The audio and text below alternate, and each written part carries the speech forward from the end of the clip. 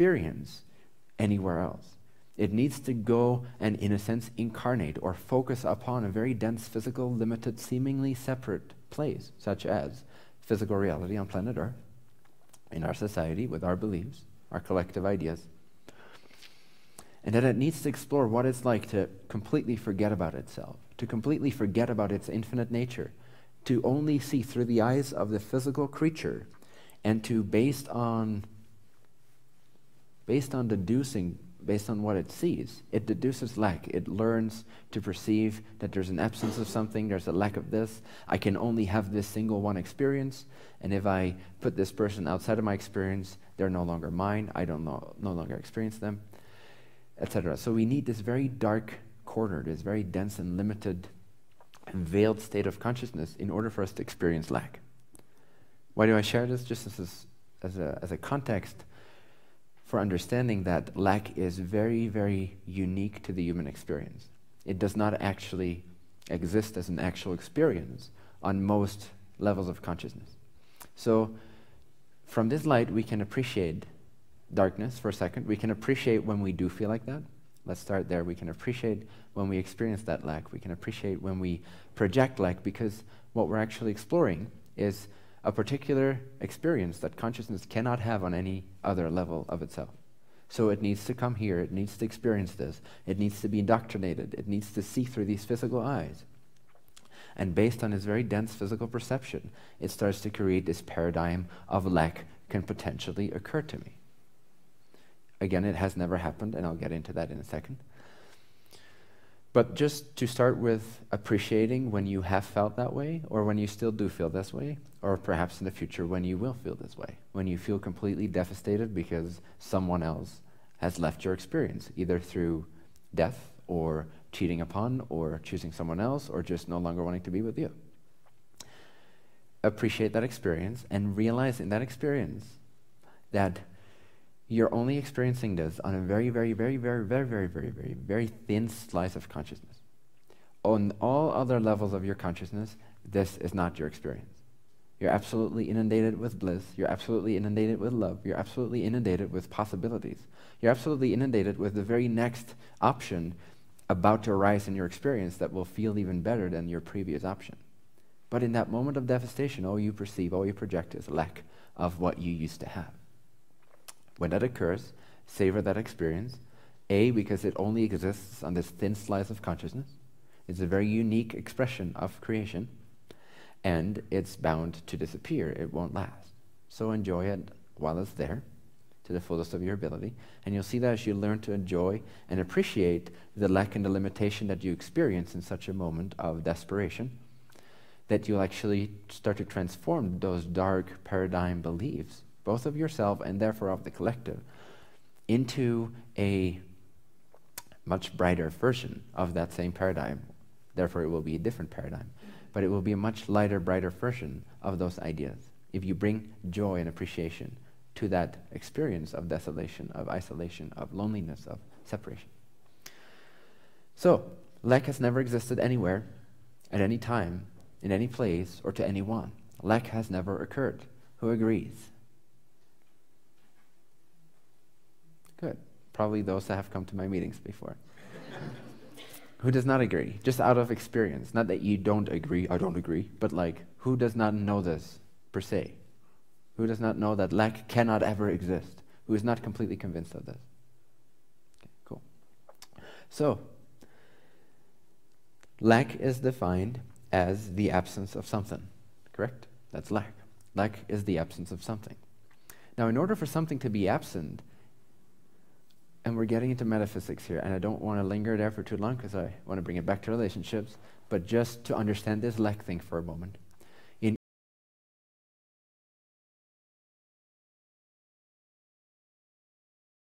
time, it means that everything that can exist already does exist, and if everything that already does exist already does exist, it will always exist.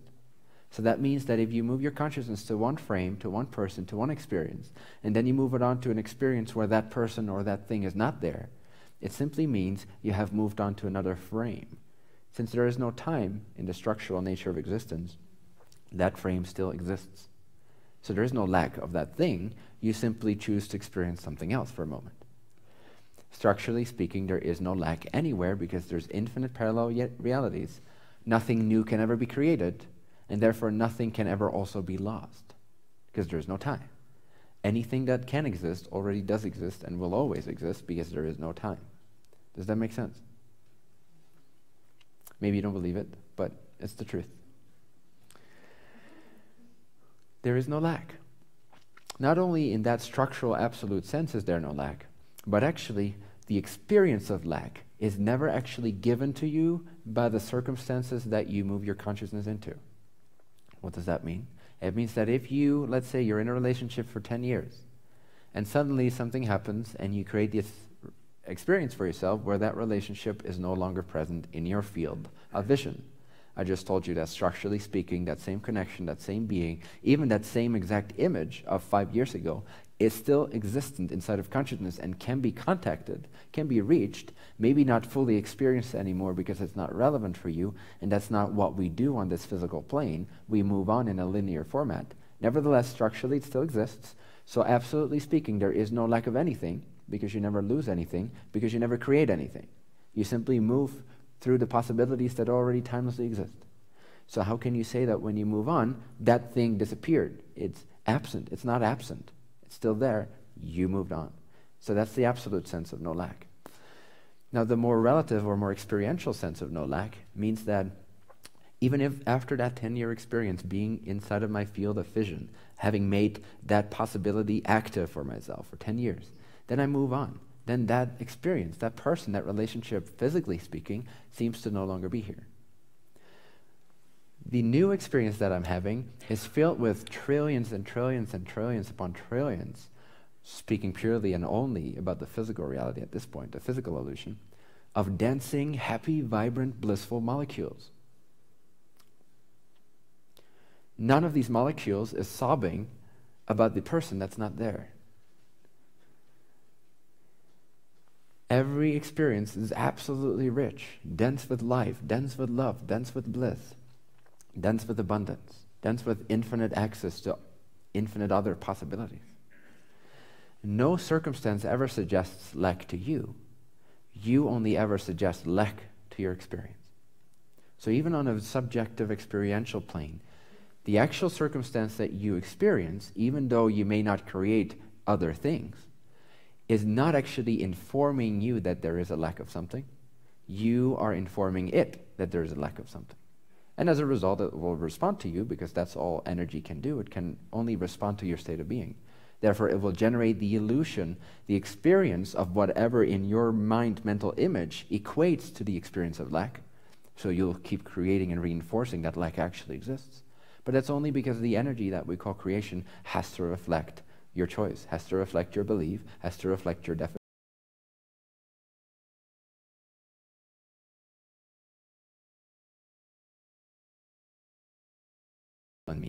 By itself because you are here to give meaning to it. You are here to shape it. If it had meaning of its own, it would mean there is two things there is consciousness and there is creation. But since creation is consciousness, consciousness rules creation because it's, it's expressive energy, it's itself and it has to respond to itself. If you move your arm, your arm will move. If you give out that signal, it will move. It can't just move on its own without your signal. Well, I'm sure there's a disease that does that. But speaking about energetic actual reality, that cannot occur. Energy does not have a will of its own, it has to reflect you. Right now, are you lacking a purple worm in your ear? right? But did you experience lack? Were you sobbing? Were you contracted? Where is my purple worm? I miss you so much. Are you, I like to call it purple. So, are you lacking a five legged purple space creature right now? We could say yes because it's not experienced. It exists. I'm not making this up. Because anything you can make up actually exists. Otherwise, you couldn't even conceive of it. So it exists. There is a purple five legged space creature somewhere out there, and there are purple worms that crawl into beings' ears. But none of these are lacking right now. They are, from your experience, absolutely speaking, they exist. They coexist with this experience. It's not relevant for you to have a purple worm in your ear at this moment. And so you don't create that slide, that image of creation. But why, what's more interesting than whether or not it is actually lacking is why you do not experience it as lack. But if that partner, after 10 years, moves out, you do experience lack. There's no difference. Do you experience a lack of a doorknob right now? Do you experience a lack of whatever? Insert whatever is not present physically and see if you're lacking it. Yes, it is lacking, it is absent from your present physicalized experience. B, no, it's not actually lacking in existence. It's very present in existence. It's just on a different wavelength. When you tune your television to a different channel, you will perceive a different image. Simultaneously, there's tons of different channels going on. All you have to do to make it appear inside of the same here and now screen is to dial it to another channel. Boop. Suddenly, your experience changes from one channel to the other. Absolutely speaking, the other channel that you were at previously is not lacking, it's still there. You're simply not tuned into it. But subjectively speaking, you can either like what you see or not like what you see. You can either project that you want more of what you see and that you are happy with it, or that something is lacking, that something is missing. When we project too strongly that something is lacking, and not from a balanced state of using our preference wisely, not by saying, oh, hey, wait a second, I feel that I could actually add something to my creation right now, and that would make it even more beautiful for me. And then go about and do that. That's a healthy type of noticing that something is missing that you would love to create for yourself. That's perfect, that's great. You're using contrast to learn more about what you desire, who you really are, what you want to make manifest. But when it's the type of lack that is the projection, it's not here right now, and it will never be here, it won't be here ever again. It's, it's not fulfilling me anymore. I can't create it anymore. It's impossible to get it back or to create a better version of it. When you go into the lack of possibilities, when you go into the lack of freedom, into the lack of free will, into the lack of abundance, into the lack of what you can create, that's when you start to contract, no? Good. So that is a subjective, self generated experience would you agree that this experience is not indicating that you should feel bad because there's no purple worm crawling in your ear? There's a lack of that purple worm, but it's not affecting you. Is that correct? In fact, you're quite happy perhaps that it's not here. So you're happy with your creation. You're learning about who you are. Through contrast, you're learning that you enjoy yourself in the absence of a purple worm crawling in your ear, right? So you're happy with your creation. That's great. Now, what is lacking presently? Anything? What is lacking? Transform whatever you believe is lacking into, hey, I want to create that. It's a completely different sensation. Oh, hey, I want to create and attract a partnership that I can fully engage with and actually have fun with. That's different than saying, well, there's a lack of partnership, and based on past experiences, I know I was rejected, so it's probably never going to happen. Or I'm too old, or I'm too ugly, or I'm too fat, or I'm too this, or I'm too that, I'm unworthy, all these ideas if you go down that path, I guarantee you, you will generate more of the things you don't enjoy. Right? Now, if you empower yourself, then you can learn to be empowered in relationships as well. This requires some experience. In order for you to truly be empowered in relationship, which for many people is a very sensitive issue, and again, I speak from my own personal experience. So when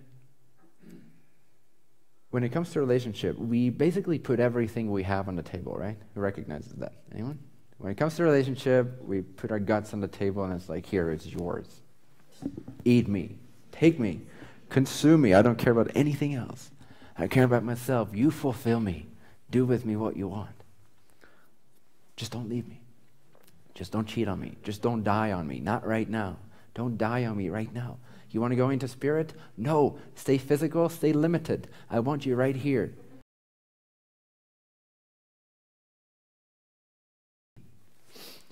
So we're putting everything on the table when it comes to relationship. That's why it's such a perfect practice when it comes to our spiritual empowerment. Because it will show us everything, often even too much of it, for us to really process in that moment. It's usually over time that we start healing and processing things when it comes to being cheated upon or your partner dying, it happens in stages because it's often too much at once to clearly distinguish between.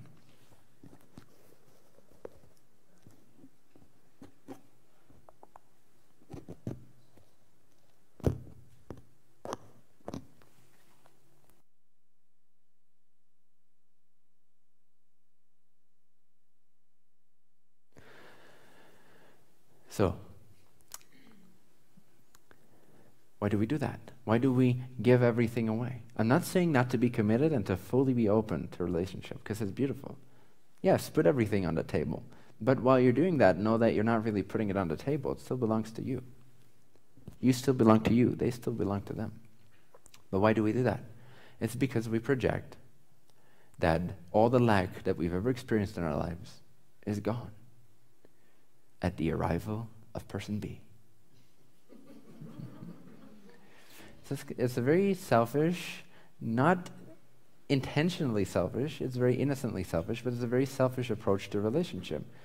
It's like for let's say for let's say you meet your whatever soul twin flame partner when you're 35 years old, just hypothetical situation. For 35 years, you've held in the sense that lack can occur to you. You've feared that lack will occur to you. You've kept yourself really contained in certain ways, self protected in certain ways.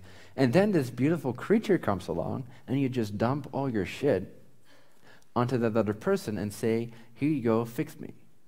Here you go, love me. Here you go, do everything I refuse to do for myself, which is to see that I'm abundant, to love myself, to feel that I am worthy. It's up to you. This pristine, beautiful, clear being who has no nonsense with you yet within a matter of minutes sometimes. I see this happen, literally. I watch people, inter- and again, speaking from my past experience too, within minutes, the brain goes, oh, is this a good candidate? Oh, wow, she said this. Wow, she's really in tune with what I'm in tune with. Okay, oh my God. And within minutes, you can see that the person, like, there is hope. I can dump all my shit on this person, and she might actually be able to take it. So within minutes, we're actually screwing each other over. And that's what we call love at first sight.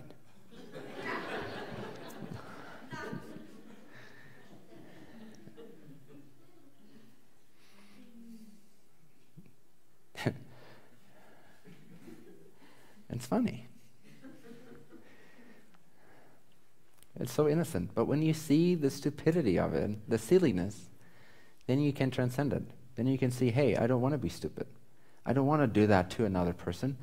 Most of all, I don't want to pollute our connection. I don't want to pollute true and pure relationship, not a relationship, but pure and true relationship. I don't wish to pollute that with my own inability to love myself.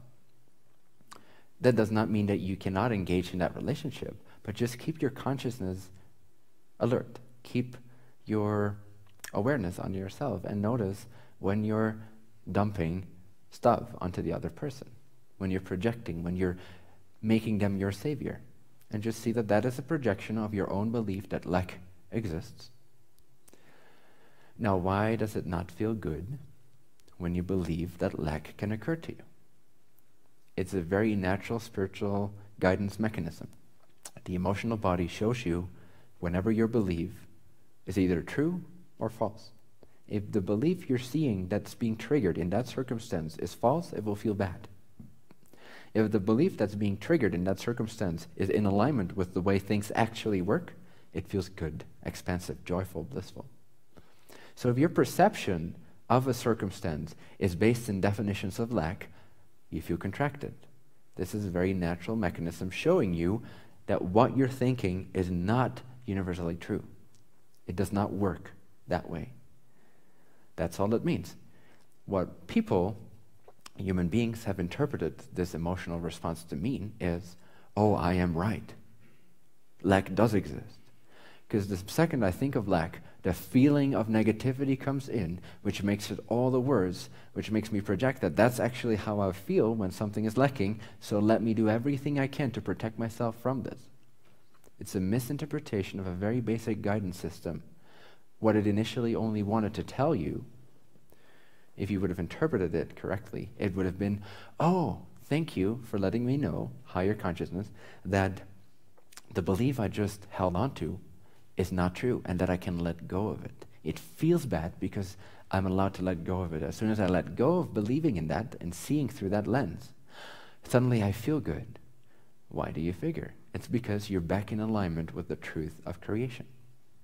This is as simple as it gets when it comes to emotions a child could learn the system in a day, in half an hour, and make total sense out of it and learn to uh, um, apply this to their everyday lives for the rest of their lives. Bad feeling means your perception of reality is untrue. Good feeling means your perception of reality is true. If you feel bad, you have total permission and encouragement from your higher self to let go of that way of seeing, not to hold on to it and to protect yourself from it being real, because by the very fact that it feels bad, it means it's not real. But feeling bad makes it seem that much real, more real to us because we interpret it in a wrong way. So, feeling bad means let it go, transform it, change it. Feeling good means milk this, mother. Keep on sucking on this frequency. You want more of this vibration. You want more of this alignment. You want more of this perception. This perception is in alignment with the truth of creation. This perception will serve you. That's why it feels better. And if you act on what feels good, and if you become more of the perceptions that feel good, you'll have access to perceptions that feel even more good, and more good, and beyond that, even more good. And then you start getting into the ranges and the frequencies that we call bliss and purity and love and balance and all that fancy stuff that you hear spiritual teachers talk about, or at least refer to. So, that's all you need to know about the emotional guidance system. Um, yes. So what happens is, as soon as you learn to empower yourself, because this is an inside job, as you all know by now, this is an inside job. No one can do it for you. You can create helpful reflections, but you have to walk the path.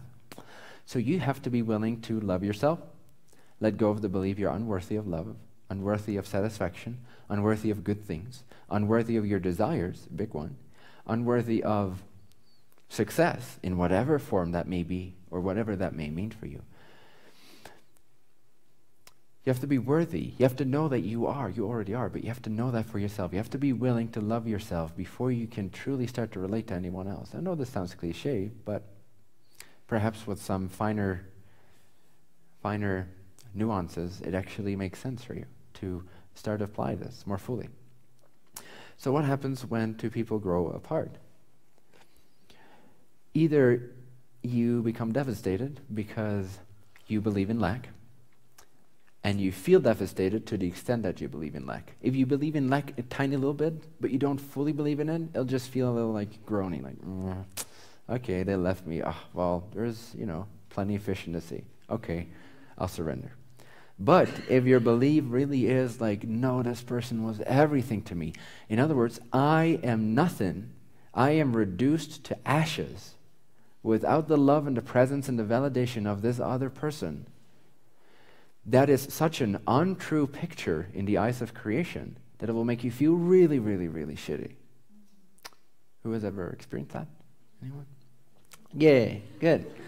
That's beautiful. That was just symbolizing how much of yourself you have placed outside yourself and how much you chose for all those years to not believe that you are loved. That's an excellent observation. It's an excellent occurrence because now you can actually do something with it. You can actually realize that you had those beliefs that clearly are not true, otherwise, they would feel good. Right? Now, what beliefs do you have that actually feel good? Far too few. But which ones do you have? Start expanding upon those. Start empowering yourself in the perspective of, and I just name a few examples, but you can tailor this to your own needs, to your own desires, to your own resonance. I am a creature of consciousness. I am consciousness that has a vibration. I am the chooser of my vibration. My vibration then will reflect itself in my physical circumstances, which are inherently empty and meaningless. I do not have to take my cue from my circumstances because they are empty and meaningless. I can give to my experience whatever vibration, whatever definition I wish to give to my experience, and that will be exactly, exactly the experience I get out of my circumstances. Therefore, circumstances don't have inherent experiences to offer me. I only ever give myself my own experience. So, knowing that, I can choose my own state of being through and I will choose the perspective that feels good because I believe I deserve to feel good. And I believe that in order to follow the highest wisdom I have access to, which would be the most selfless thing, I have to be selfish enough to honor its requests, to honor its guidance system. So if I feel bad, the selfless thing to do would be to be selfish enough to notice that my perspective is out of alignment and to choose what feels good. Does that make sense? You have to be that selfish in order to be selfless. In yourself and in relationship, you need to be selfish enough to start to appreciate what feels good. So, what happens when you empower yourself in this way, as I've just spoken about it, is that you gain more and more confidence in your infinite worth, in your infinite love, in your infinite power, to the point where the very person that you've fallen in love with can leave you at a whim, even for someone else. Ooh, that one hurts the most, doesn't it? Or death, perhaps, whatever. Whatever reason hurts the most, just picture that one.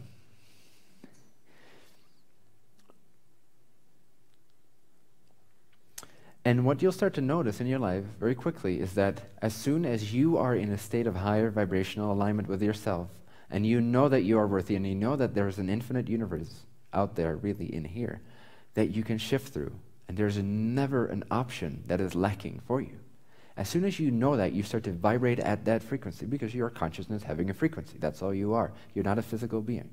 You are consciousness having a vibratory state of being, moment experience with itself. And you can alter that. You can choose that. You can configure that however you see fit. That is why you are a God of your own creation. So the more you know that you have choice only, that it's up to you, it's up to you, it's up to you 24 7. It is up to you how you feel, how you experience, and what you paste onto your circumstances because they don't exist independent of you and they don't have inherent meaning to teach you. You have something to teach your circumstances, you have something to give to your circumstances. So overwhelm your circumstances with your chosen state of being, your chosen definitions. See only your preference. See only how you want to see things. Become more delusional so that you let go more of the physical reality that's co created by 7 billion stupid people.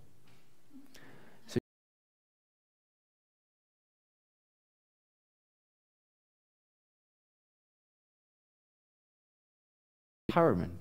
Now, when someone leaves you, it becomes a different story. I'm not saying that nothing shall arise anymore, that no old beliefs will be uprooted or shown to your consciousness.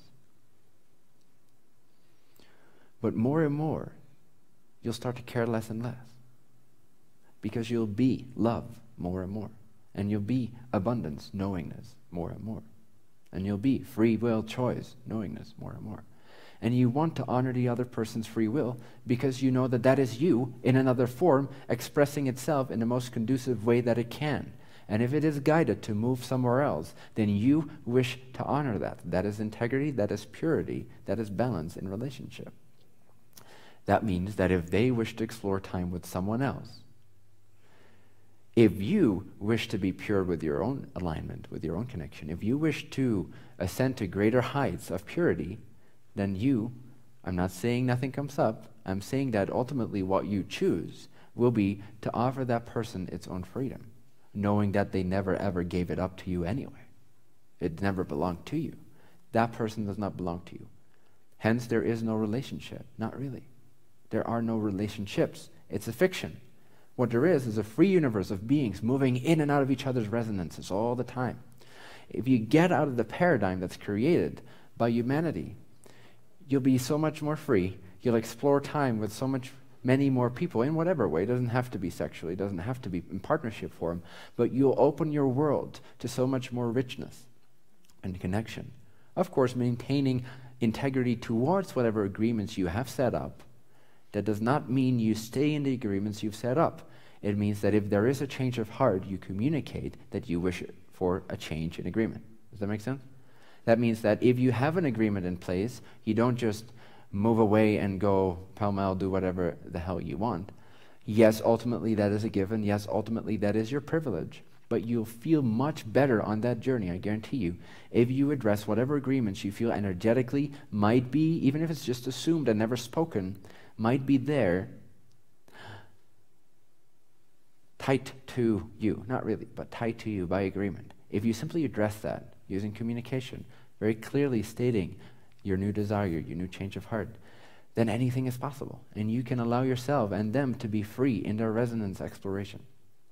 So there is no relationship. Get over this idea that there is a relationship, that there is you and me against the world. I mean, it's an amazing energy. It's an amazing energy when it's there. But when it's there, ideally, it's allowed to be there out of a pure free will, not out of agreement. It's even more amazing if both beings just simply want to be in tune for that moment without making any promise per se regarding the future. It's fine if they do. But then again, let your this is just my personal recommendation. Obviously, do with it what you want.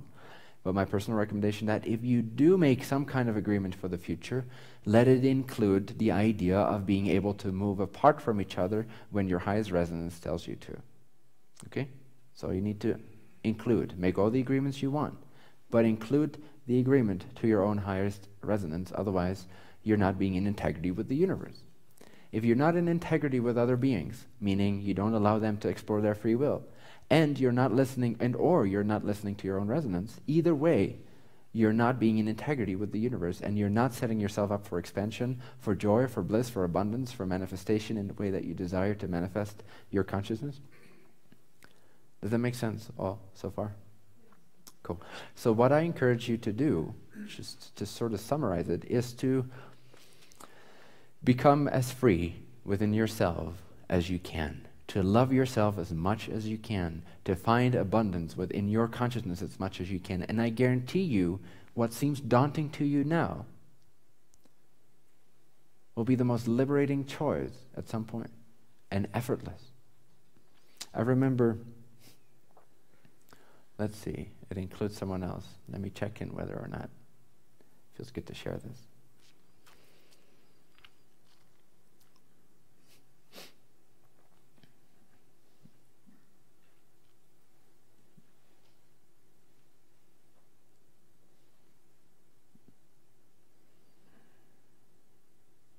I can share it in a certain way close enough. So, um, like I said, my biggest fear always was that my partner would either leave me or would die or would disappear or cheat on me or anything like that. Right? So, the one that I most projected that upon probably was my wife at the time.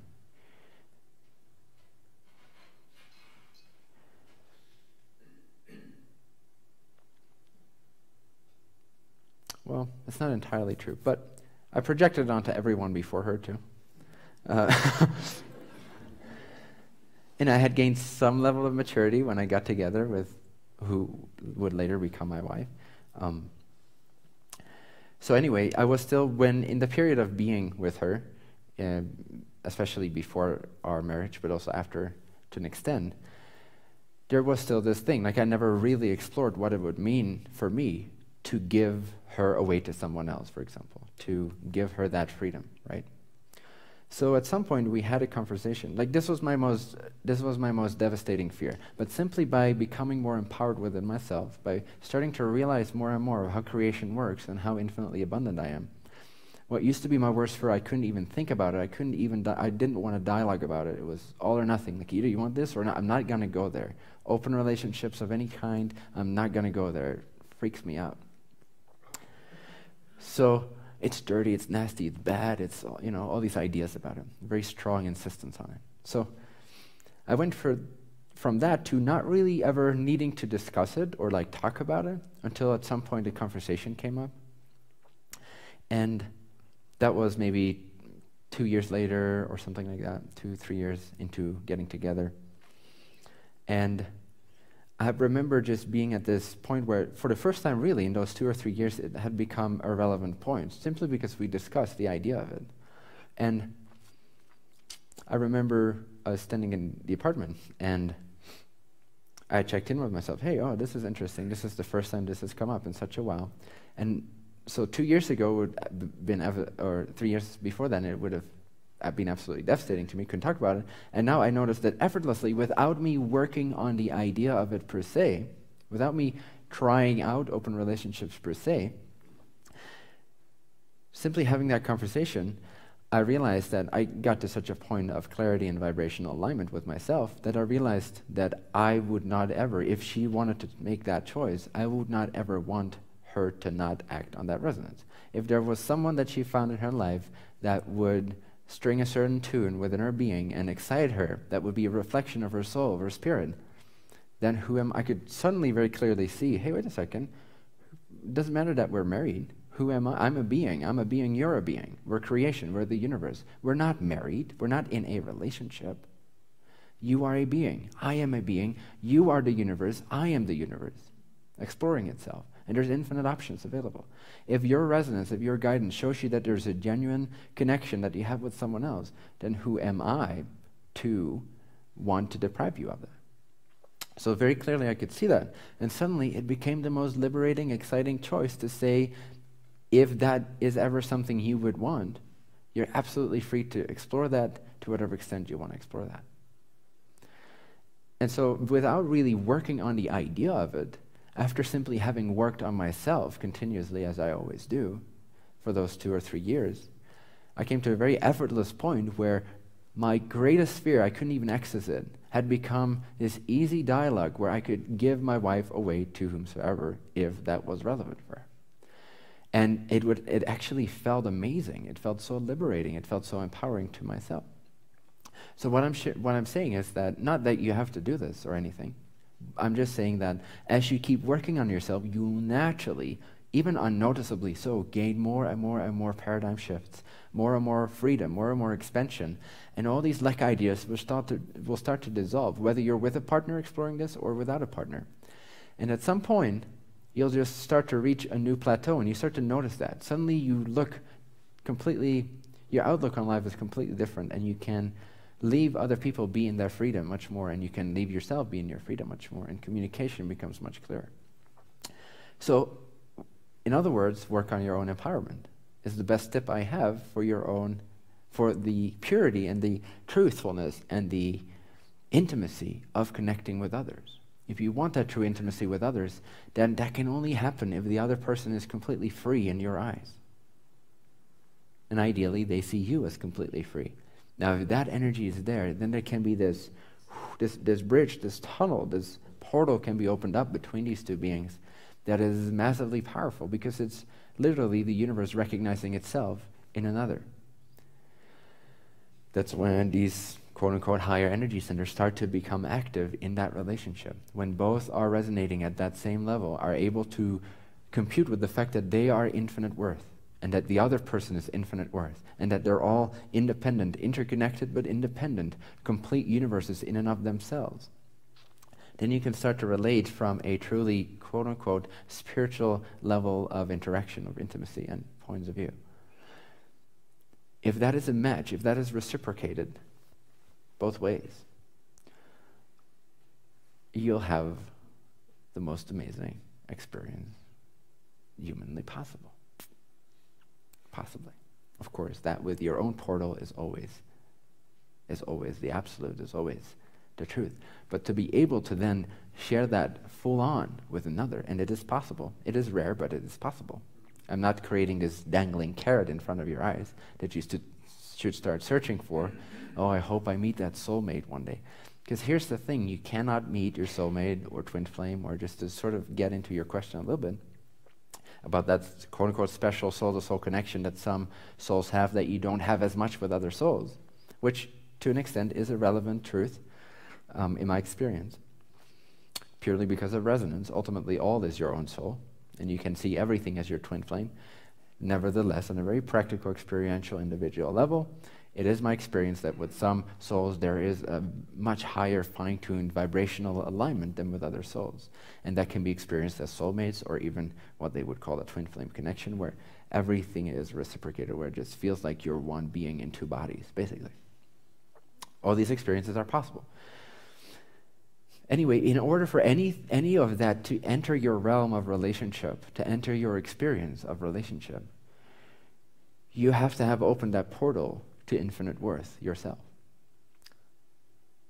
So, if you wish to attract any type of true relationship or the relationship that you have, you wish to transform it to become this true portal, then you and, in a sense, the other being, of course, it's up to their free will. But you, most of all, need to open up. I keep calling it a portal, so that's how you can see it like a gateway, like a wormhole, like a black hole opening up in the center of your head, allowing in, in a sense, that universal infinite knowledge that I am infinite worth. It's the gateway to everything. If you can know that you're infinite worth, it's the gateway to everything, and especially when it comes to relationship, whether it's friends, whether it's teammates, whether it's crewmates, whether it's partnerships, whether it's your twin flame, whether it's a whole group of people, whether it's a threesome, doesn't matter. That clarity, that portal to knowing, it opens up as soon as you know that you are a creature of infinite worth, infinite possibility, infinite abundance, infinite love. So you have to know that within yourself. Somehow you have to dig real deep and find that source of infinite well being. And if you can find that, relationships will never be the same. Again, I'm not saying that nothing will ever come up for you in terms of old sort of human perspectives and that you can enter a period of whatever, a couple days, couple weeks of churning through that when something is triggered in the outside. But you'll have the clarity that you need to move through that as gracefully as possible, given those things that arise so powerfully from the human mind, from the unconscious, from believing in lack. And then ultimately, with more and more and more and more practice, then that period of process becomes shorter and shorter and shorter to a point where, in most situations, speaking from my own experience, if something drops away, you can instantly recognize, even before it happens, that that is okay, more than okay, that that opens the gateway to something else, that there, that only means infinite abundance. It does not imply lack. That becomes more and more immediate in more and more situations. So that will, in a sense, be the proof, the evidence, the hallmark of your sense of freedom, your sense of infinite worth. If there's still a lot of attachments to the outside, to other people, then it is simply a sign that you've not explored.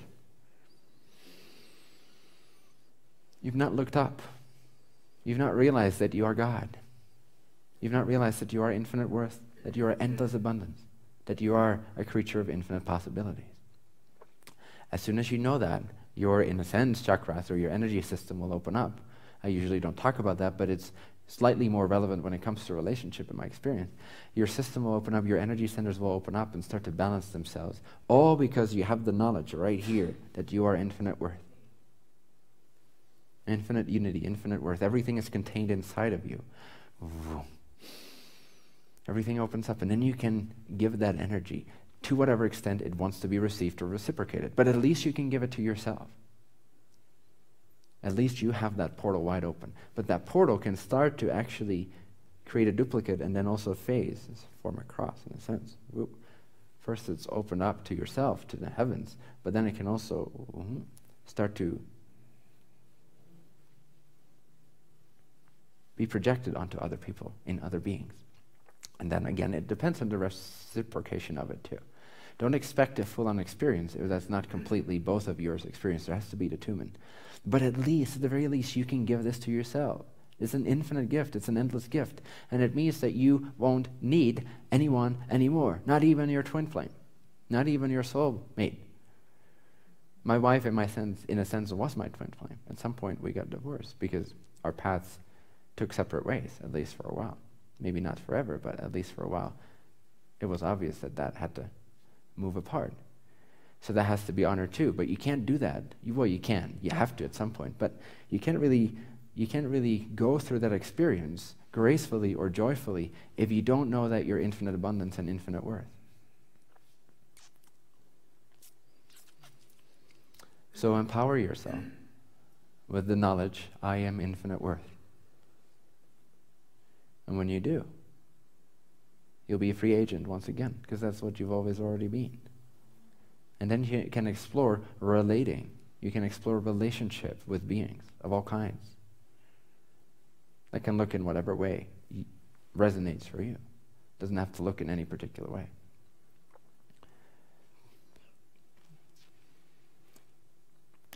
So. Hmm. Yeah, sounds good.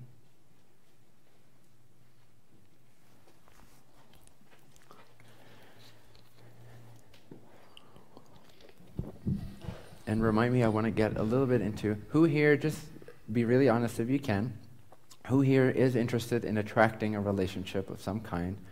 Even whether or not you're in a partnership right now, doesn't matter. Just answer for yourself. Who, in general, is interested in attracting a relationship of, uh, let's say, it sounds a little bad, but of a higher order, of one that is in that intimacy that I'm talking about?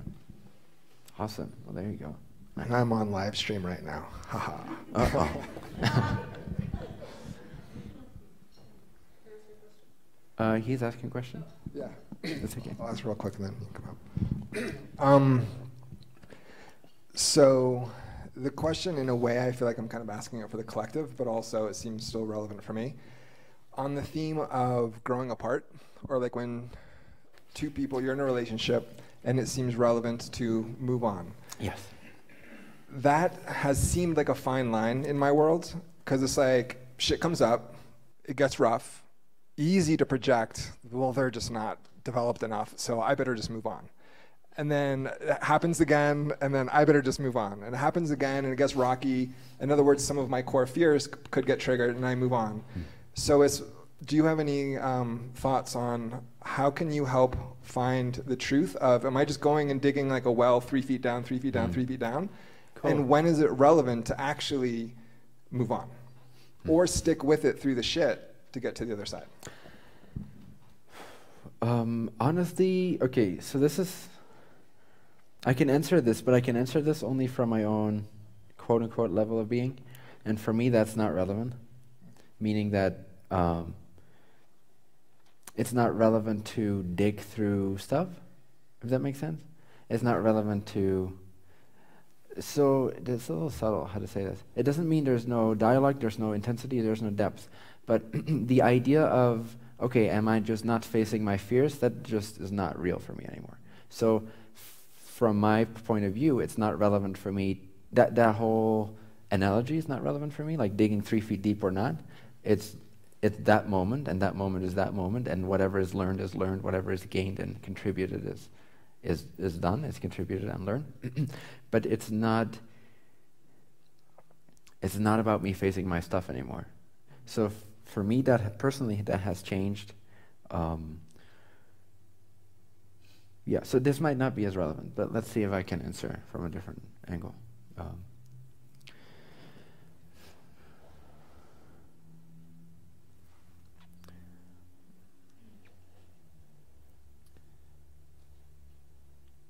because there's no fear, right? Like if there's no fear, there's yeah, I'll see whatever needs to be seen. So that's not a mechanism. Ultimately, that's not a mechanism for moving apart from anything. It's just because something either resonates or does not resonate. And ideally, this is the case for you all too, where it's purely based on this no longer resonates when it no longer resonates. But yes, fine tune. Yeah, and so it's if I'm seeing that I'm trying to move away from mm-hmm. pain or discomfort, that's perhaps a warning bell for me, as opposed to am I moving toward some deeper excitement? If okay. there's some positive excitement, or am I avoiding? And I want to say this plays into what I could say some average person hearing you is like, well, this is just a recipe for you know wishful thinking and irresponsible behavior by just like hanging out for a little bit and then hanging out for a little bit.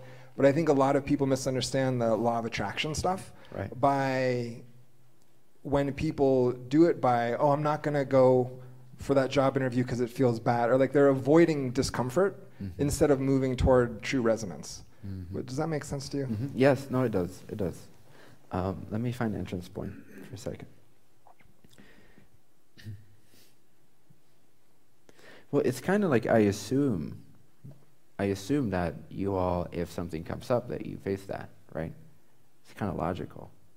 If you don't, then you probably wouldn't be here to an extent. So it's almost like that ideally, that would already be a moot point. I'm not saying that it should, but I'm saying that you've already reached a level of consciousness where if negative beliefs come up, you are inclined to face that and ask yourself, why do I feel bad? I feel bad not because of something they did. I feel bad because I have a belief that's not true. That's why I feel bad. Remember the mechanism I told you about? The universal emotional system that works that way to guide you into clarity. So when someone that you start to open up to, okay, let me see.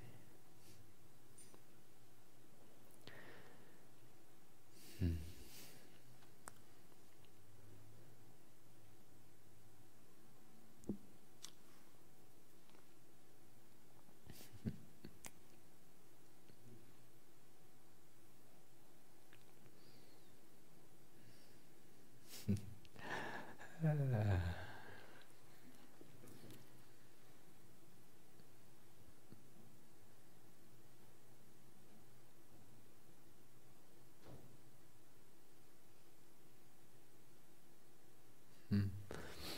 It's such a different paradigm.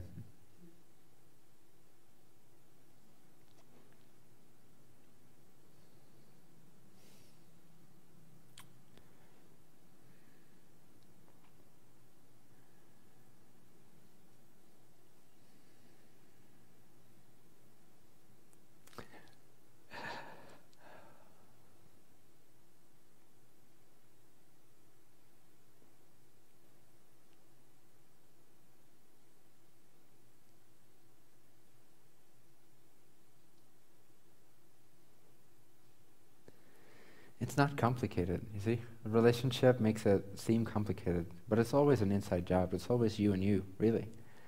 So just keep it really simple when it comes to facing your fears and insecurities and all that.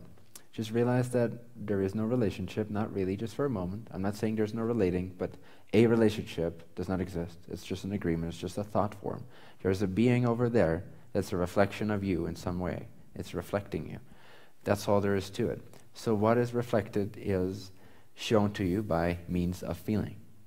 If you feel bad, if you feel afraid, if you feel scared, there's something there for you to look at, regardless of whether that's triggered by another person, or by a plane crash on television, or by a terrorist attack, or by the money dwindling in your bank account. It's all the same thing. Like, just keep it really simple. There's no difference there just because it involves another person. It is all about you. When you, as soon as you feel bad, yes, don't immediately walk away. As soon as you feel bad, notice that you're feeling bad because you have a belief that's out of alignment. Then shift your belief. Then shift your thought form. Shift your shift your reference. What are you referencing? So a bad feeling comes up in relationship to someone else. That says everything about you. That says everything about what you believe about that circumstance. Investigate it. Be as lovingly present to yourself as you can. Be excited about having uncovered a negative feeling. So you can actually feel really positive and good about having discovered a negative feeling. Does that make sense? Many people go, oh, a negative feeling, oh, that means lack. No, a negative feeling means an abundance of clarity and alignment reaching a new plateau, a new level. So be really excited about bad feelings coming up because they show you the things that are not you that you hold on to that you believe in so that you can let go of them, transform them by actually changing your energy, by actually remembering that you are a creature of infinite worth and infinite abundance and that all beings are free to be who they are and you are free to be who you are. This is it's this is it. That's just a simple process of facing those fears, facing those insecurities. In a sense, that should become a moot point when it comes to relationship. That shouldn't even be conflicting with whether or not something resonates. It's ideally that's no longer it's no longer confusing. Oh, wait a second. Do I just want to move away from this? Or am I not facing something? At some point, that becomes crystal clear. Especially the more and more you have done this exercise of, hey, something comes up. It doesn't feel good, which means that my belief about this circumstance is not true. Let me look at it. Let me lovingly and excitedly transform it into knowing I am infinite worth. Everyone is infinite worth, and there's nothing that can ever be lacking for me.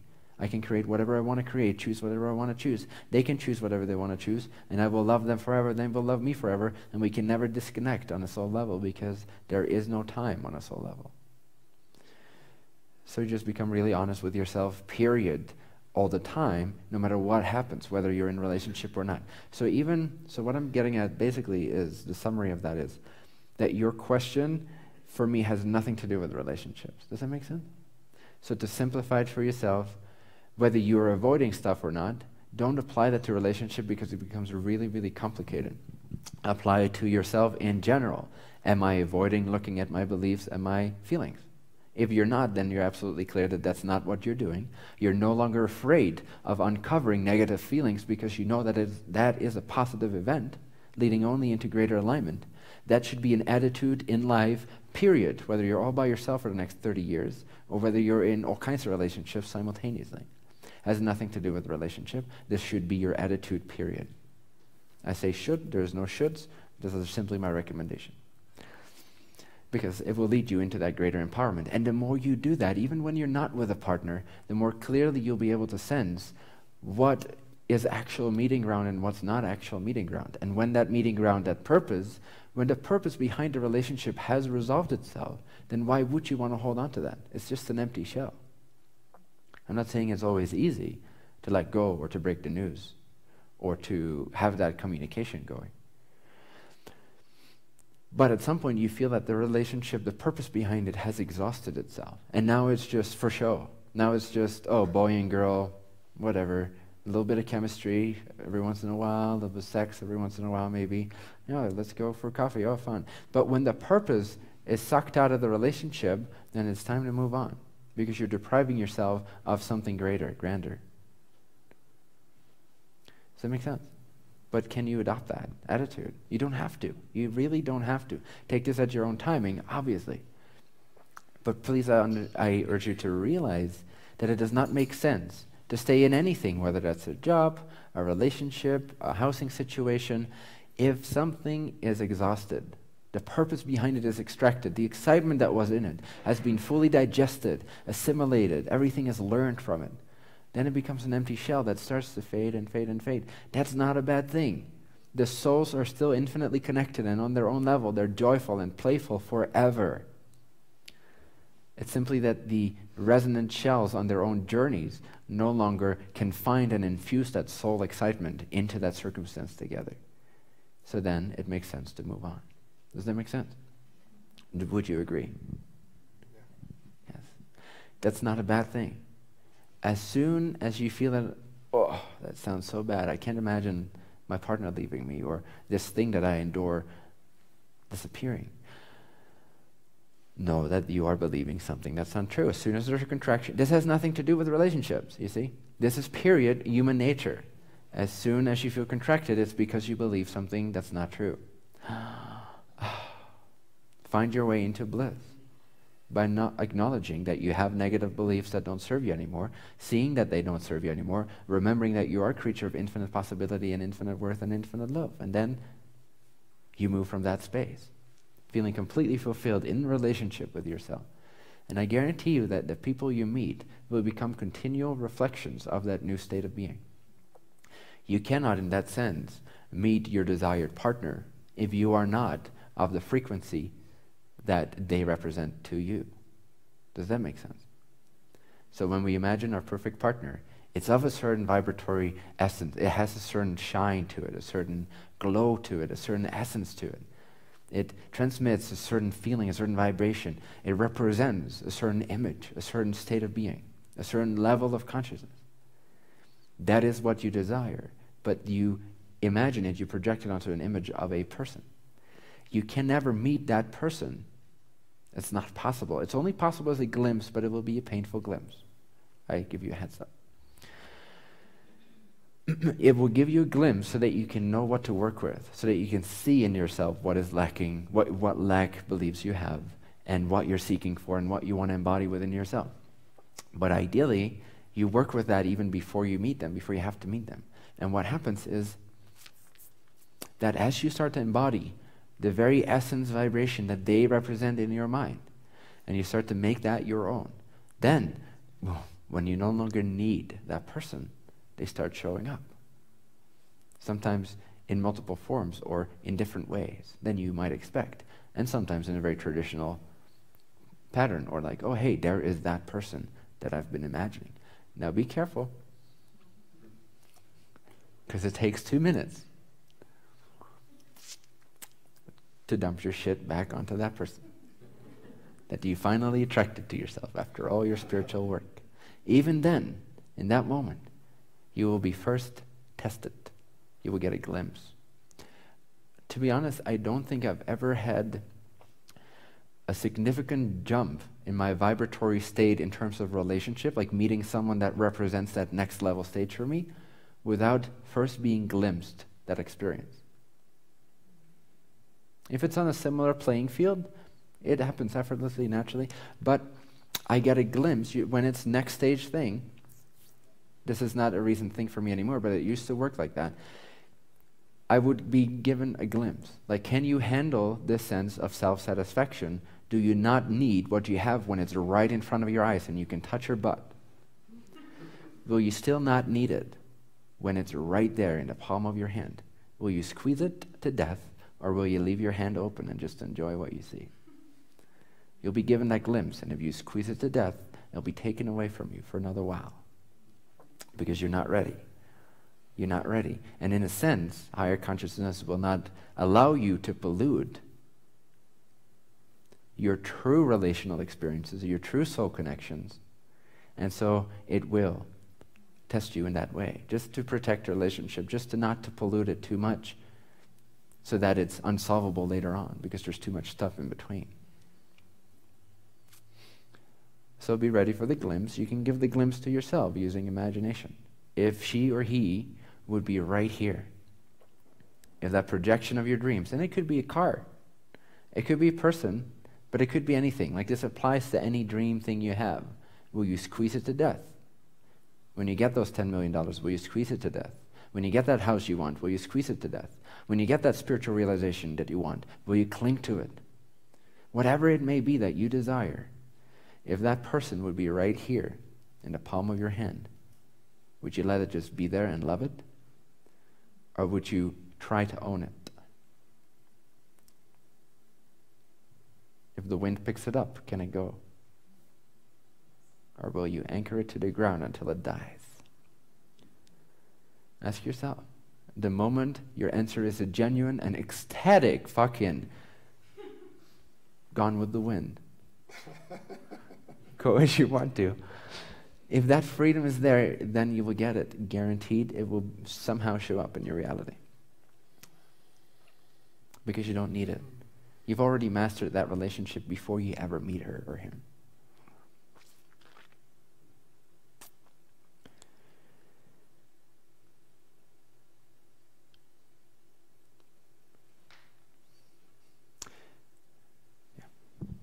That's beautiful.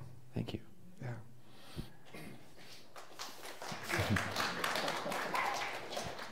Um, yeah. What um, some of my experience, like how I'm summarizing that for myself in a way, is well, I guess as you were talking, I was realizing how much I and I think a certain you know old school paradigm lives in stories, like lives in, in linear story worlds where it's like, well, if I'm in a relationship, am I going to be the kind of guy that can, when shit hits the fan, am I going to do this, this, this, or this? Or am I going to do that, that, that, or that? Mm. And it really, I'm realizing that's where that question was more coming from. Whereas mm. really all it needs is to be in this moment and be hmm. true with what's happening, right. you know, with the resonance of what's happening right now. And the answers for any of those questions, whenever those forks happen in the road, mm. will be like obvious. Yes. With presence, yeah. Yes. Cool, thank you. Awesome, thank you. Thanks for asking the question. Yeah. Did you have a question? Would you like the microphone there, or would you like to sit here? Okay. Wasn't a mic for the first set of questions, so I didn't know there was going to be one. Okay, cool. Sorry. No, no worries. That's good. You spoke earlier about connecting to something and deciding whether or not you were going to share something with us. Mm. And I would like to hear a little bit more about how that process works for mm. you. Perhaps we can extrapolate mm. from that a little bit. You mean how I how I distinguished what right. I could share you, and what I you, could not? You clearly went into a place where you were thinking about whatever it was you were thinking about. Right. Um, and without the details of the specific person you were thinking about, mm-hmm. what did that process look like okay. internally? Cool. Good question. Let me see.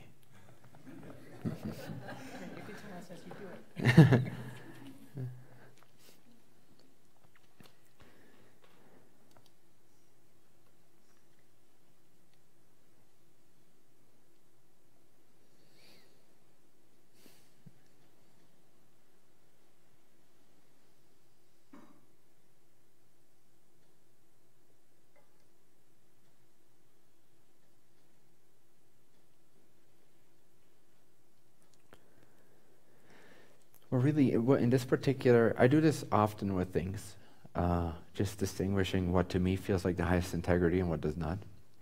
So I could share quite a bit about it. It's a very subtle art, and um, and even though I personally, from my subjective experience, feel that I'm very, very clear on it, that still does not mean that everyone else will agree necessarily with your choices of integrity but I get as close as I can get to what I believe and what I feel is the highest integrity, the highest selflessness that I can achieve in most of the situations that I would have to consider that.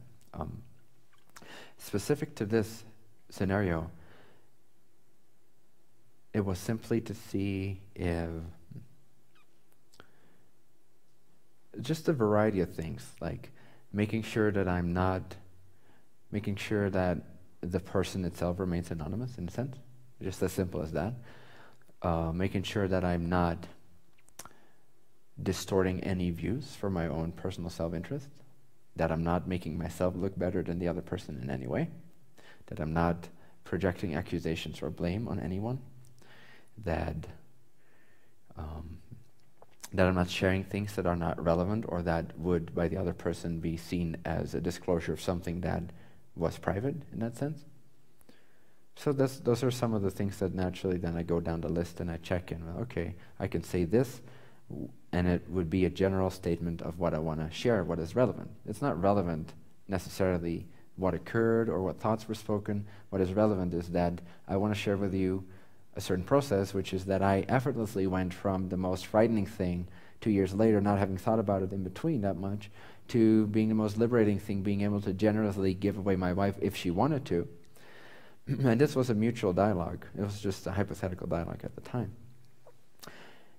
So I just go down the list and see like what can I share about this that feels relevant, general, and like it's not intruding upon or detracting at all from her identity. Does that make sense? Okay.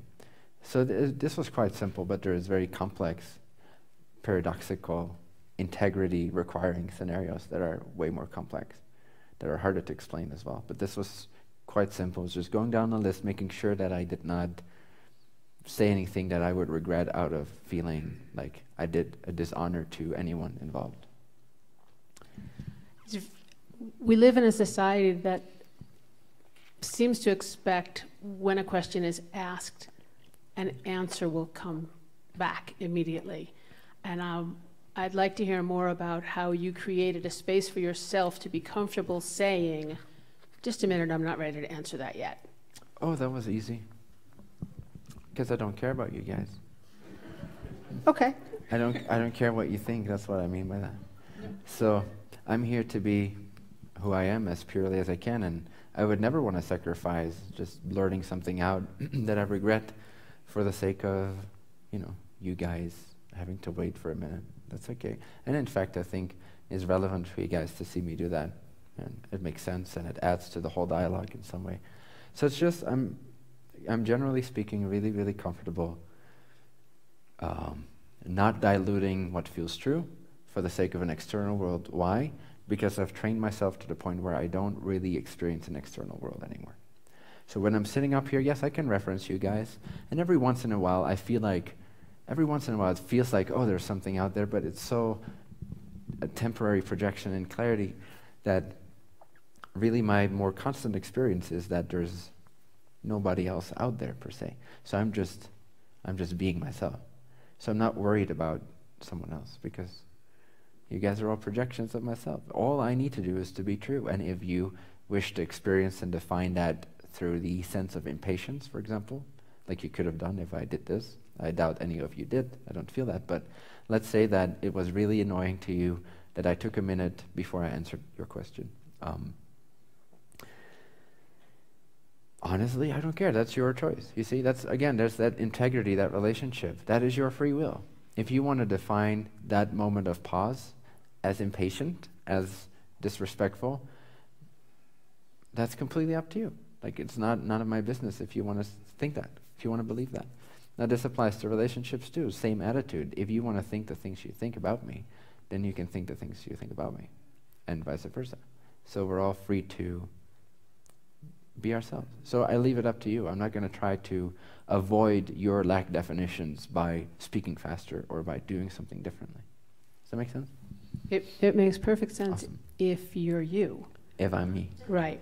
Um, I- think what I was looking for, and not to say that wasn't a perfectly wonderful answer, but everybody is at a different place in their learning and their Sure. accessing. And so for those of us who are coming newer to this, Sure. can you talk a little bit about what the process was mm-hmm. like for you to learn to to figure out how to make how to make that happen for yourself Awesome. along the reason it's this weird scenario approximately not weird scenario but maybe 10 years ago i was at this yoga retreat doing yoga meditation teacher course i was at this yoga retreat and i was talking with this guy that had some insecurities regarding women and other people looking at him and that kind of stuff and i remembered i was a wise ass even at that age um, and we had this dialogue and i was teaching him something from my past experience, which is that I noticed that when I was, um, I remembered this other experience where I was dancing, where I was whirling around or something like that in a group of people. And I very distinctly noticed, I was playing this game with my consciousness. I noticed I can either reference other people and uh, contract, or I could, it was simply mechanics. It was attention mechanics. It had nothing to do with these people. They're not actually there. I noticed that if I don't reference other people, they don't exist. I cannot judge myself. So I noticed that for most people, it's like, well, they actually do exist. So if I don't focus on them, then they're still judging me and I'm not controlling what I'm doing because I'm not thinking about what they're thinking. But no, for me, it was, they actually don't exist to me, so I don't care. And then I reference other people, and then I care. And then I don't reference other people, and they don't exist. So I actually am giving myself attention, mechanics wise, the space to be absolutely free with no reference to other people. And after that, he started dancing like crazy. So that was cool. So that's basically the mechanism to realize that in order to maintain your own purity and to, in, in any situation, you need to realize that if you reference someone else's thoughts, if you reference someone else looking at you, you're forgetting that you are the observer of your reality, not other people. You are the observer of your reality. Your consciousness does not, in that sense, look at you from other eyes. You're looking at your own experience. So when you connect to that, you see that really there is no sense of other people judging you because it's irrelevant. And besides, it's none of your business what they think. Does that make sense? Or is that still too extreme, perhaps, or too radical? No, no, it, it makes sense, and it, it's helpful to think of it, you know, it's not like you can wake up one morning and say, okay, I get all this. Right. You know, none of you exist. Everything is, No, it's it's definitely It's gonna be a process. Getting, getting used to a different type of consciousness. Yeah, I would say so. Yes, and one more thing I would add to that is that w- what's crucial to establish this connection with yourself to such an extent where it supersedes, it's more important than anything else, is to really desire that, to really see the relevance of that. The human nature is wired in such a way that it will always choose the path that it perceives to be the most beneficial, always. So if you're walking down a path that you instinctually know is not good for you, you must have a few beliefs, or even just one belief, that perceives a lot of value in walking the path that you know is not actually good for you. For example, in the dancing scenario, it might be that um, maybe you instinctively feel like dancing. The music is hitting you in a certain way, and you feel the vibration, and you want to move. You just want to move. Don't even call it dancing. You just want to move because there is this flow to that experience. You want to merge with the tones in the room, so you feel like moving. That is the resonance, right? In that moment, that's the natural, spontaneous, childlike sense of I want to move. That's what's true. That's what's authentic. What comes in then is the idea of other people looking at you. And the belief is that I will get love if I don't do anything stupid. That's what most people think. If I don't act stupid, I'll be loved and accepted. I won't stand out. If I don't stand out, at least I can't be an epic fail. Right? Especially with dancing, because everyone is stupid when they're dancing, unless they've had sufficient training, but even then it's subjective. So every, just assume that everyone looks stupid when they're dancing, when they're moving. It's just a natural, weird thing. Everyone is different. There's not one way to move, right? Just in this example. And so the, the belief that leads you onto a path that's actually not of your resonance, but of your resistance to your true self, is something perceives benefit in not doing what you enjoy doing in that moment. The thought in this case probably being along the lines of if I just don't move, even though I naturally want to move, but if I don't move, then at least they will not hate me. Maybe they may not love me because I don't stand out in an awesome way either, but they won't at least reject me or hate me or think I'm silly or stupid, which would equate to not being loved, not being accepted. So, even though you know it's in your highest resonance to start moving in that scenario, you don't move because there is a belief in your mind that suggests there's a benefit to not moving. Hence, you will not move. So, what's crucial with anything in life, and especially when it comes to maintaining integrity to your own connection all the way through and not caring what other people think, whether it's in integrity with relationships, communication, or dancing, or setting up your business, or whatever it is, speaking your truth no matter what, no matter who's around, no matter how it may land on their ears, no matter how they may interpret that, no matter how much they will love or hate project onto you. You need to desire to speak your truth and open, open your energy system in that sense. You need to want to be in alignment with yourself, more so than you wish to be loved by an outside source. And one way to eliminate ideas like that is to think, do you really care whether that silly looking person over there, which doesn't know shit, what they think of me?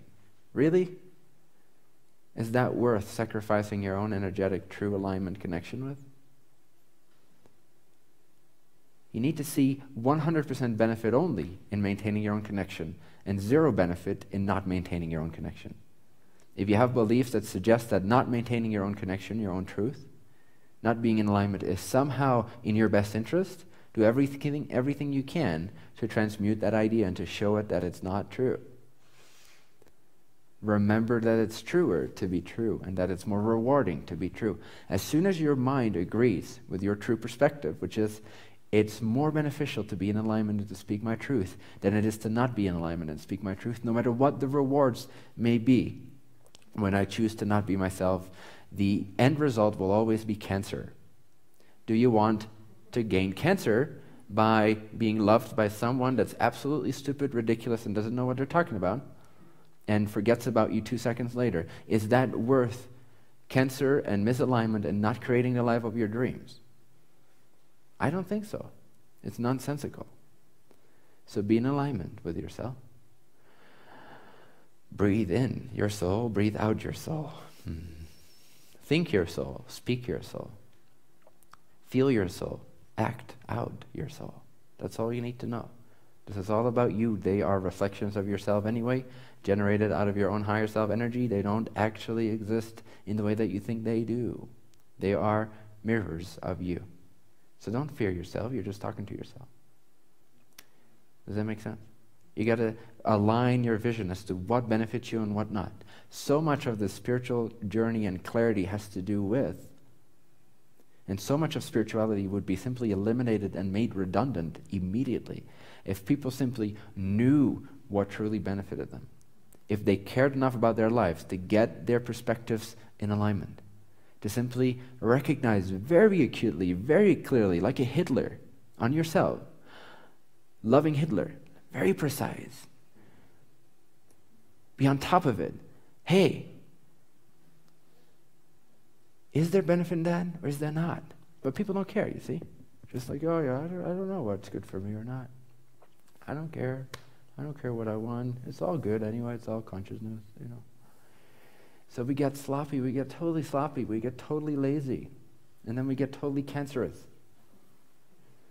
You don't want that. It's not worth it, is it? We wither and die, quite literally. We want to be alive. We want to be infinitely ageless. And in order to be tapped into that source, You need to align your vision as to what serves you and what's not, what does not serve you. So, so much of this is about mental clarity. It's about logic.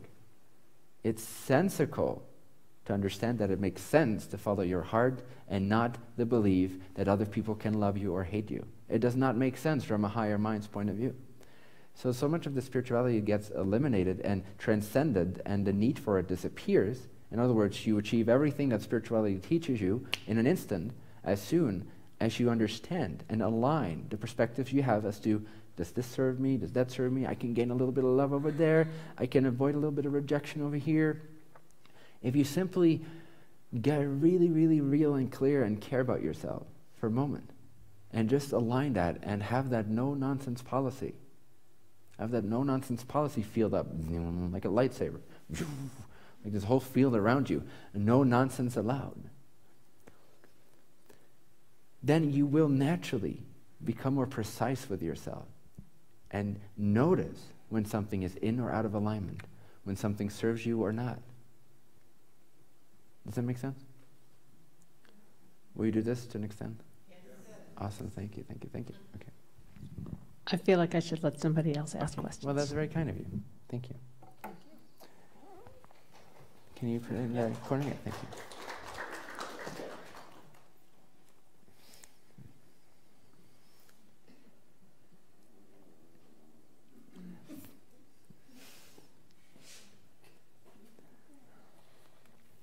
Hey.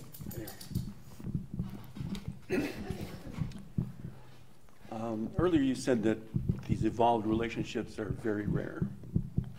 Mm. I mean, somewhat. Not as rare, perhaps, in this group, but rare on the on one global collective scale. Mm-hmm. Yeah. Okay. So, uh, my last two relationships have been amazing in the mm. sense of learning, in the sense of finding out more about me, what I like, what I don't like, what I feel um, that I'm lacking or, or think that I have a need of. And so that's been awesome. Beautiful.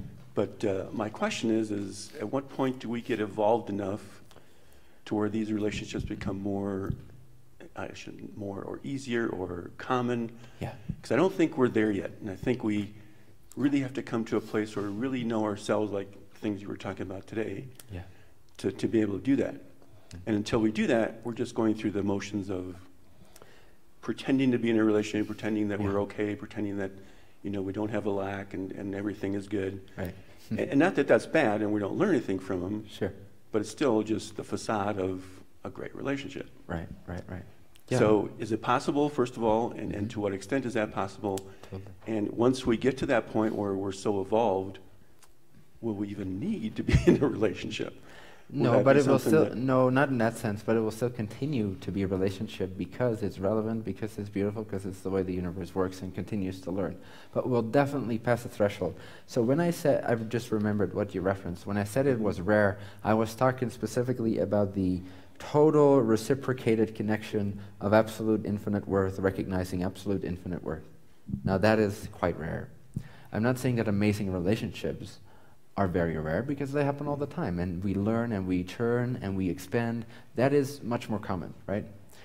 But when it comes to what you're talking about now, what you're hinting at is a state of absolute clarity as to our own infinite worth, to the point where we can recognize when we look in someone else's eyes, all we see is the one.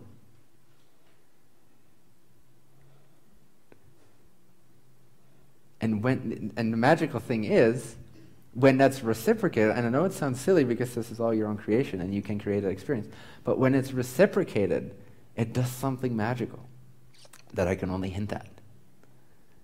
And that is very rare. Mm-hmm. And, but, but that's fine, that's okay. So, what is required for that? What is the threshold for that? How can we measure that? It's by our own sense of infinite worth. So, as we move through the quote unquote energy centers, which is just a symbol, but it's relative, relatively relevant, and we work on, you know, sort of transcending our purely based sense of self protection, and then we start opening up to unconditional love, and we start to see that other people are loving beings and they're creatures with their own free will. We start to respect that more and live and let live, and then we start to express ourselves fully, which is the dancing thing I talked about, for example, where, which is just an example, but this applies to anything in life, where we no longer reference ourselves through other people's eyes but we become free expressions of who we truly are. And this is where most people actually are a little tripped up, a little stuck in that sense. It's not so much that they can't access love, in, especially I'm talking to you guys and my viewers and the community. Many people have that, like that open heart, they can access that. but to the extent where they can fully express themselves, where they can fully crystallize who they are as an individuation of consciousness with the absolute absence of referencing other people's opinions, that is quite rare. That's where we're, in a sense, working on, most of us, many of us in these spiritual communities, such as my own, in a sense. So, but when that becomes more fully open, more fully open, then what opens up is the sense of infinite worth. You see, because that comes usually through being able to express yourself fully. That's how you tap into the energy field that is you as the infinite creature, as the infinite creator. And then this starts to recognize itself, become aware of itself at this vibratory level. I'm just using the chakras as a symbol right now. This third eye idea of recognizing infinite worth, recognizing that you are an infinite creature. And then when that opens up, it opens up to everything else, a universal connection. But it allows you to recognize that same oneness in other, in other people, in other beings. And that's when, if that's reciprocated, if both are at that stage of clarity, that is what I meant with it's quite rare. When do we reach that point? Well, we can very, very clearly measure that in ourselves by simply right now taking a deep breath, closing your eyes.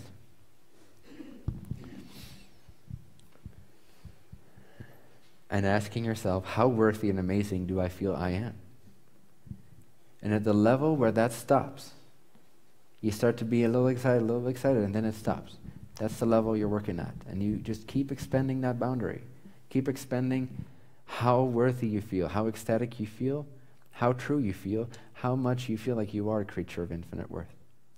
And you keep expanding that energy, it becomes more and more blissful, more and more bright, brighter light, brighter, brighter, more and more expansive.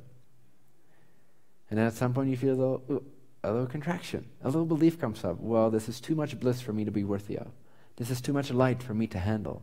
And that's exactly what it is. It's too much light for you to handle. That's exactly what it is because that's what you're saying to the universe, because that's what you're believing about yourself. So, right there, you reach another plateau, another threshold, another layer of beliefs, and usually you will find that has something to do with being afraid of fully expressing yourself, fully being yourself, fearing the consequences of other people, and all that stuff.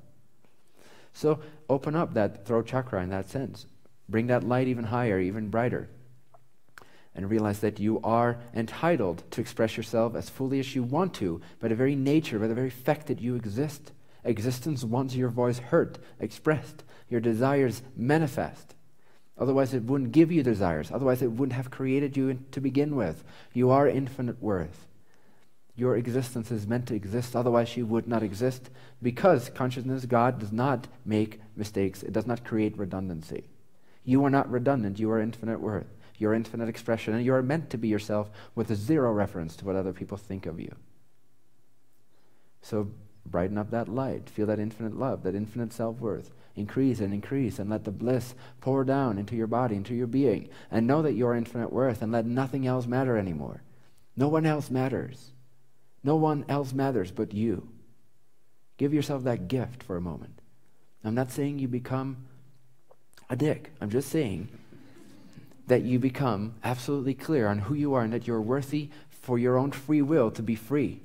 If you don't let your free will be free, then you're not going to let other people's free will be free, and you're simply not ready for relationship, not this type of relationship. So you got to let your free will be free so that you can have the empowerment and the infinite worth found inside of you, an expression, infinite expression found inside of you, free expression, so that when you are in that empowered state of being, when you are that God in a body, with a body, I should say, then then you can fully attract that type of relating, that type of relationship. Naturally, effortlessly. Then you are ready for that light. Then you won't squeeze it when it's given to you. Then you will let it come and go so that the next even more beautiful, abundant thing can come and go as well.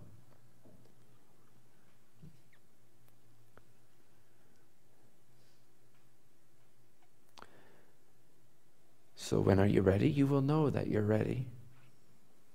A, when it happens, obviously, but even before it happens, you can know that you're ready by no longer needing the projections external to you, outside of yourself.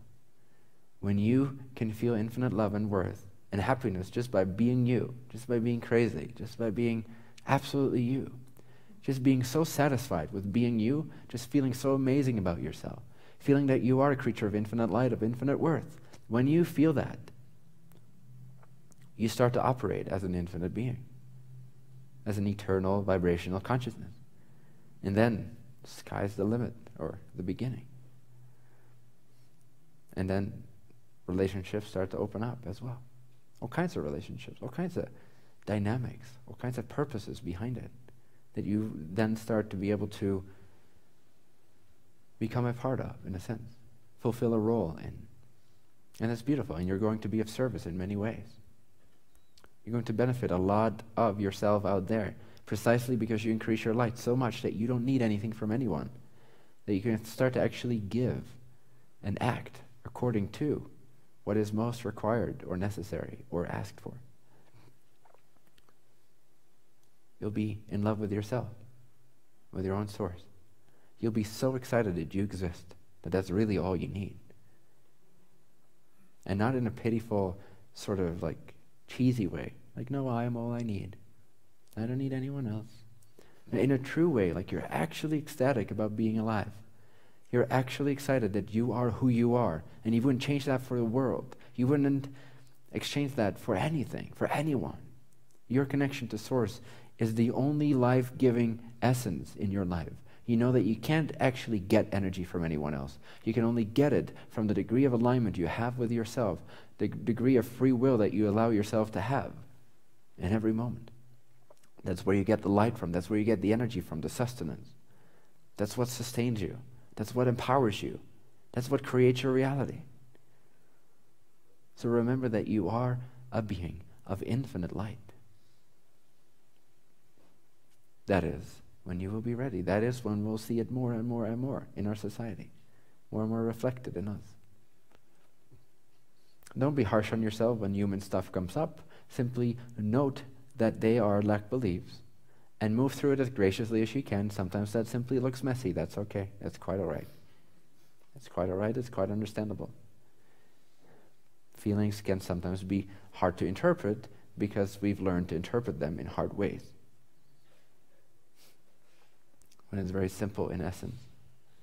So allow yourself to go through those periods of in a sense, purging those old beliefs, transforming them, showing them that you now know that you are of a higher vibratory state of alignment, of infinite worth.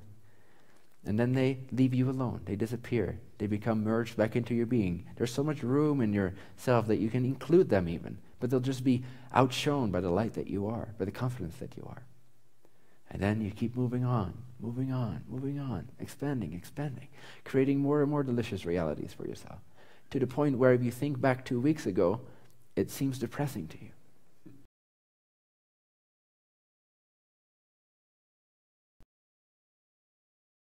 You want to live a single day in your life already lived because you move on every single minute.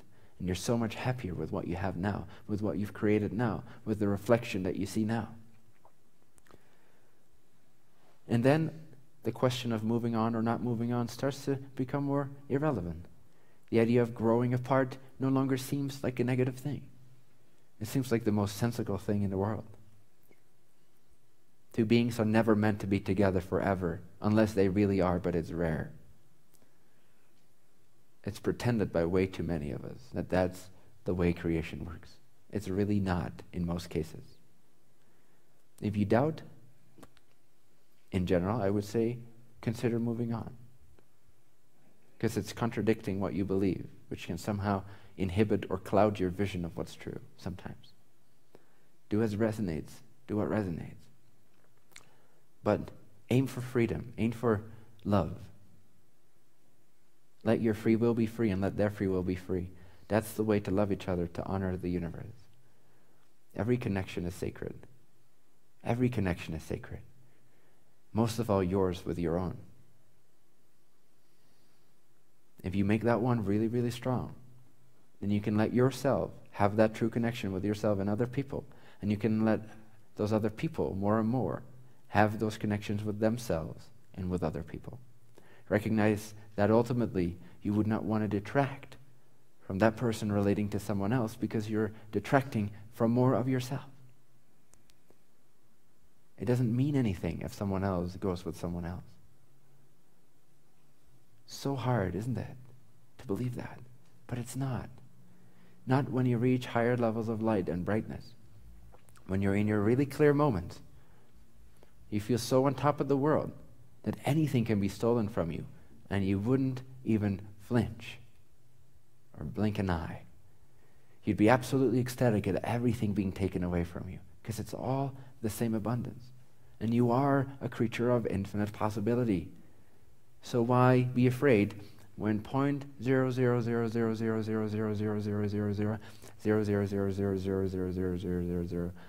zero zero zero zero zero zero zero zero zero zero zero zero zero zero zero zero zero Honestly, I'm not just seeing the whole number and I can't speak it in the next 800 billion years. If I would continue to say zero, zero, zero, it would still not be there. One, let's just skip 800 billion years. Percent of all of creation is taken away from you. You would not care. It still exists. You just move on to another portion of it. You own all of creation, you own infinite possibilities. So don't latch on to what you see because what you see is a reflection of who you were. Of course, it needs to move so that something new can be created and your new vibratory state can be reflected in physical reality. If you hold on to it too tightly, A, it will wither and die, you will wither and die, and your new reality won't come to fruition. And when the reality you do have does finally get stolen away from you, you don't know what to do with yourself. So allow yourself to recreate yourself on all levels of your being, especially the manifest level, over and over and over and over and over again.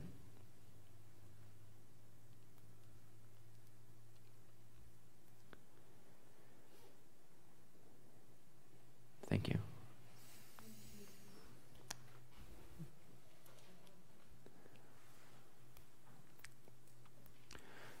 Oh, yeah.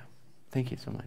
That was perfect. That was actually the next question I was going to ask is what's the barometer, and you answered that. So Awesome. Well, thank you so much.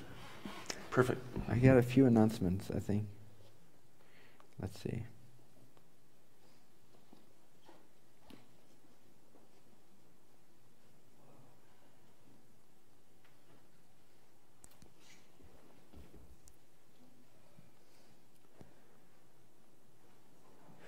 So, we have a free March retreat coming up. Um, my birthday is March 13th, so the weekend of Saturday, Sunday, 14th and 15th of March, I'm giving a free weekend retreat at the Marriott Hotel here in Boulder. Uh, there is only room for 200 people. 100 people signed up in the last two days. So if you want to act on it as a local community, I would suggest that. Do we have something here? Can they leave their name here, or they? Wait, maybe it says it here. Let's see. Although the retreat is free, pre-registration is required. We have a limited number of seats, so before registering, please make sure you are 100% committed to attending. Registration is halfway full, so please sign up soon for your seat to be guaranteed. Um, we will go into a wait list once we reach our capacity of 200 people. You can register by visiting www.bentinhomassaro.com slash boulder. So if you don't know how to write my name, that's B-E-N-T-I-N-H-O-M-A-S-S-A-R-O dot com slash boulder. Um, then we have a Sedona retreat coming up, which is a longer, more in-depth retreat. It's called, oh wait, the March retreat is called Consciously Create Your Reality, Discover the Power That Moves Mountains. Epic. I wish I could attend. Sedona retreat is called Master Your Bliss, Master Your Future. The idea behind that is that many people think that um, many people think that they need to think about their future in order to actually manage their future and control and protect and all that stuff. But the best way to master your future is to actually master your bliss presently, to learn how to use your frequency wisely and to already be in the state of being what you want to be and who you want to be and what you want to have, being already in that bliss. And then very naturally, your future will rearrange itself. So this is a six-day retreat, I think, from April 24th through 29th at the Sedona Creative Life Center. Academy members uh, receive a 70% discount if they joined the academy prior to January 24th. So I have this, this thing with the academy where those that are committed to really, really digesting this teaching, they join my academy, period. So if they do that, then uh, if they've done that for three months, I feel that they've committed enough of their time and of their study to really get those basics so that as a group and in the retreats, we can actually take off and make things really interesting. So we don't have to, you know, 50% of people don't have to wait for the rest of the 50% to ask the same questions they already know, but they all paid to be at the retreat to have an awesome experience. So go join my academy because it's epic, it's awesome, it's life transforming. It is $45 a month, it's a two week free trial. Um, and all retreats in the future will be 70 to 100% discount once you've been in there for 30 for three months. So, if you want to register for the Sedona retreat, go to bentinhomassaro.com slash events slash Sedona. But if you just go to events, you'll see it. Um, and if you're not already signed up for our local email list, in case of cancellations or changing our normal Monday night routine, we recommend that you sign up, which should be on the table. Is that correct? So as you leave the room, you can sign up there, and we'll add you to the local email newsletter. And okay, to those here and also the live streamers, we are building a team of volunteers to create and distribute content. We would like help with things like graphic design, editing, transcribing, YouTube, etc.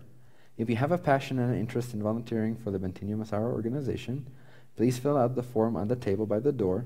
And if you're tuning into the live stream and would like to volunteer, send an email to aylasarnoff at gmail.com. That's A Y L A S A R N O F F at gmail.com with your name, location, contact info, and your area of interest. And one more thing for those local here, we would like to gauge your interest in having a community dinner once a month uh, like at the end of the month, the last meeting of the month. After the meeting here at the Integral Center, this can be ordering pizza from Ideal Market or a potluck or something else. But we're wanting to gauge interest in how many people would want to participate in this every last Monday of every month. Any hands? That resonates. Okay, seems like significant enough to implement that. So every last Monday of the month, we'll be having just social time here, some music, some pizza or whatever. Thank you all, and thanks, Ayla. That's awesome.